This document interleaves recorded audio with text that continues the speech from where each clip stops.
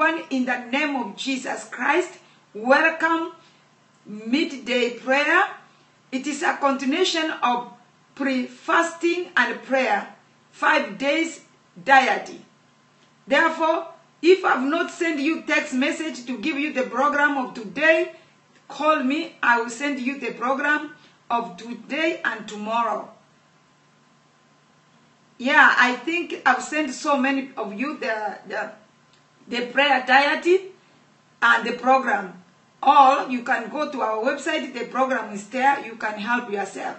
Therefore, I am going to talk to you about the topic called uh, Demons will keep you in chains and isolate you.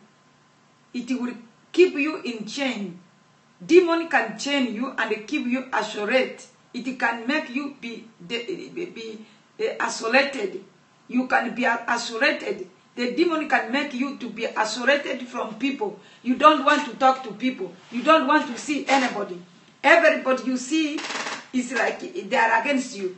You don't like to meet people. You don't want to come out of your box, out of your comfort zone, because you fear the demon, you fear people. It will make you to suffer and being tortured, and it will make you really to suffer for a long time until you discover who you are. Uh, we, we, we see in the Bible, from the book of Luke 10, from the book of uh, from the book of, of, of Luke 8, verse 30. If you look at the book of Luke 8, verse 30, Jesus asked him, What is your name? Legion. He replied, Because many demons have gone into him.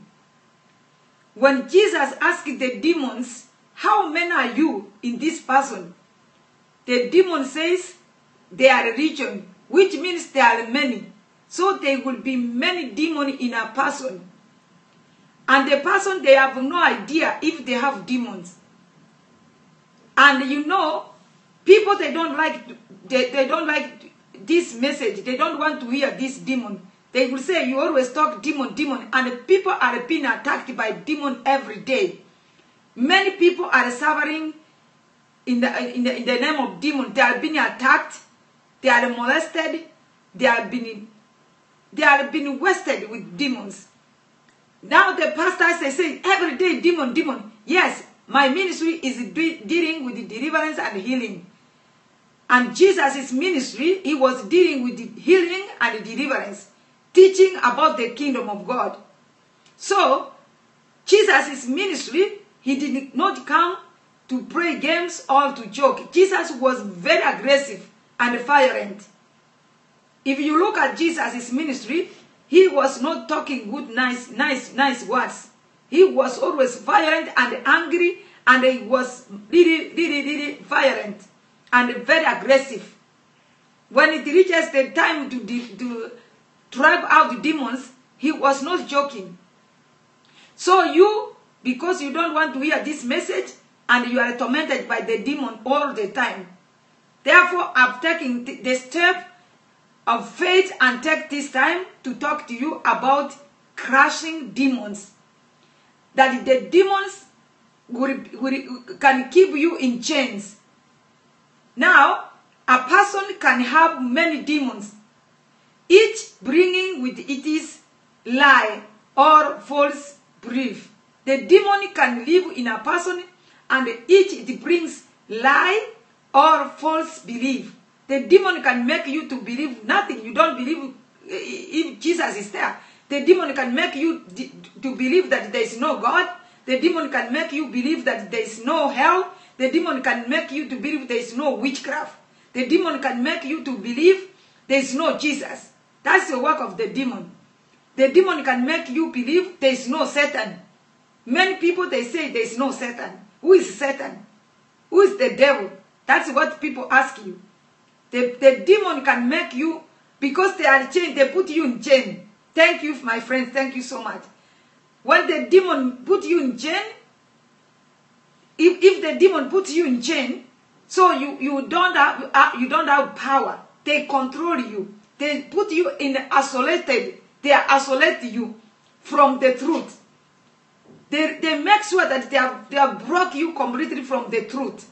So you don't have the truth. It is them who comes to torment you, to attack you, to destroy you. And you don't see this. Many people who are saying there is no Satan, look at their life. Many people who are saying there is no Jesus, there is no God, the Bible calls them foolish. The Bible says, the fool says there is no God. That's what the Bible says. The Bible calls those people foolish because they are foolish. They are foolish and they are fool. The fool says there is no God. So when the demon makes you to be to be foolish, that's what it, it, it, it, that's what you believe. It gives you false beliefs. It makes you to believe things which is not there. People who have multiple demons have duration system which keeps them in bondage. Demons like to cohabit because a system of lies is stronger and hard and hard to confront or correct it than a single false belief. They believe this. In the book of Luke 8, verse 32, the Bible says, A large head of bees were feeding there on the hillside. The demon begged Jesus to let them go into that into them and he gave them permission.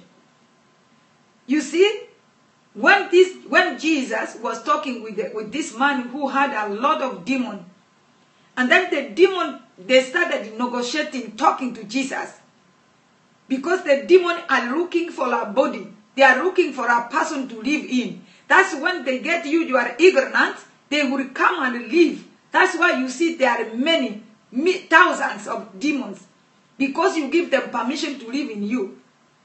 Then, when the, when the demon saw that Jesus is going to remove them from the, this person, they beg him that give us a place where we can go. There is bigs here. The bigs are here. Can we enter there? Jesus give them permission, tell them go. But Jesus knew what to do with them. He said, you go to the bigs, but the bigs will not going to live in the, you are not going to, to mix with the people. Because these bigs, if they go back to the to people, they will, the, the demons will, will come out from the pigs and enter to the people. So Jesus said, okay, enter, enter in the, in the pigs. Jesus did not refuse. He said, I've given you permission to enter into pigs. So when they, when they enter into the pigs, the Bible says they, they, they ran mad. The madness of that man, because the man was mad, was the man was the man of Gadara. He was living in the tomb he was mad, a very violent madman. So these, these, these demons went to the pigs and the pigs ran mad and they ran and, and they ran to the sea and they died there. They drowned there in the sea. About 2,000 of pigs. Generally, it is not good to listen to demons, let alone give them what they want. In this situation, Jesus may have wanted to show the disciples what happened when you give demon what they want. When you give demon what they want. In the book of Luke 8, verse 33, we are dealing with Luke 8, verse 33. The Bible says, when the demon came out of the, the man, they went into the beaks and the and the, the head rushed down the, the, the steep the strip bank and the lake and they were drawn. They rushed, they rushed to the lake and they were drawn, all of them. In, in, in, in Luke 8, verse 35, the Bible says, And the people went out to see what had happened when they came to Jesus. They found the man from whom the demons have gone out, sitting at Jesus' feet, dressed and in his right mind, and they were afraid. You know, the people, the people came to see what is happening. And then the man who was a very violent man who used to live in the tombs, in the mountains, who was very violent man, who was cutting himself into pieces. Now this man is, is minded, is, is, is, is right, and is sitting on the feet of Jesus. Then the people look at Jesus and said, and what about the pigs? The pigs has been drawn with demon to the lake, to the sea, and they drawn there and die there. Hallelujah. Praise the name of Jesus. Thank you very much, my friend. I cannot talk to you. I know you are talking to me, but I don't see from here. I don't know what you are saying, but what it is that I cannot be able to respond. You are, you are, you are, you, what you are saying. If you are praising God, you are saying Amen, Hallelujah, praise God. But after the video, I will look at it. So, uh, because I stopped distraction, I broke the distraction. I broke the chant, the the chant, the chant, chant. Because the, the distraction I don't want when I talk. So welcome, thank you very much, my friends. So now you you see this man and the people went out to see what had happened when they came to jesus they found the man from whom demons has gone out sitting at jesus feet dressed and his mind was light now verse 36 the bible says those who had seen it told the, the people how the demon possessed a man has been cured. So those people who saw it, they went and tell the people that this man who was possessed with demons is uh, he has been cured. Verse 38, the Bible says, The man from whom the demons had gone out begged to go with him, but Jesus sent him away, saying, Here, this man, he begged Jesus, but Jesus sent him away.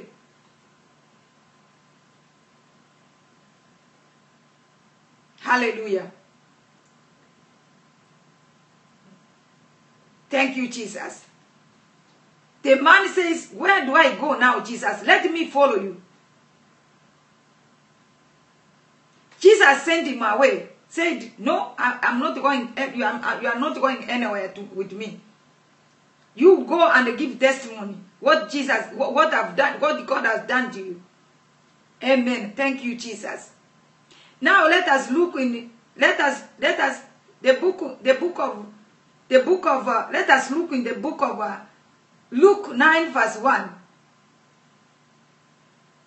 Luke 9 verse, verse, verse, Luke 1 verse 9. The Bible says, when Jesus had called the 12 disciples, when Jesus had called the 12 together, he gave them power and authority to drive out all demons and to cure diseases.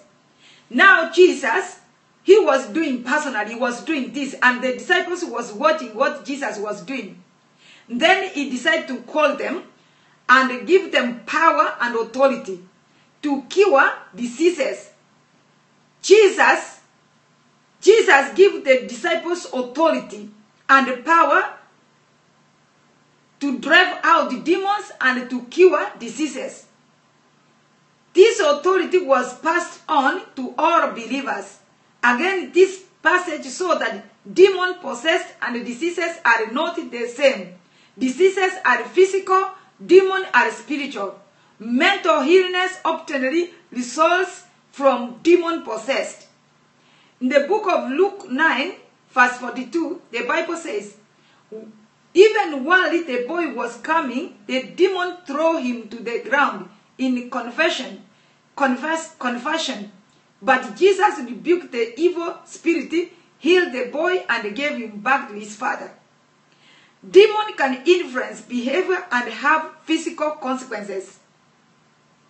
In the book of Luke 9 verse 45, the book of Luke 9 verse 49 to 50, the Bible says, Master, said John, we saw a man driving out demon in your name and we tried to stop him because he is not one of us. Do not stop him, Jesus said, for whatsoever is not against you is for us. So the disciples of John, when they, they saw somebody was driving demons, and they came to report to Jesus, Jesus told them, no, this person is with us, because nobody can drive demon if it doesn't belong to us. Yeah? You see, this was